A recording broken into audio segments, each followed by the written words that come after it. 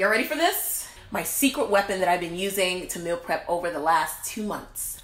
Brava Home. So this is a smart countertop oven that uses infrared light to cook that dish. You can cook, sear, toast, bake, and reheat. It's all in one. So the techie and me, I'm just all types of amped for what it has. What will I be cooking today? Shrimp and cherry tomatoes. Hit cook, seafood, start it. It'll show up as a picture, but it also shows up on my phone, and it'll be done in seven minutes. I'm gonna be cooking um, some pasta to go along with it. I'm telling you. Mm-hmm.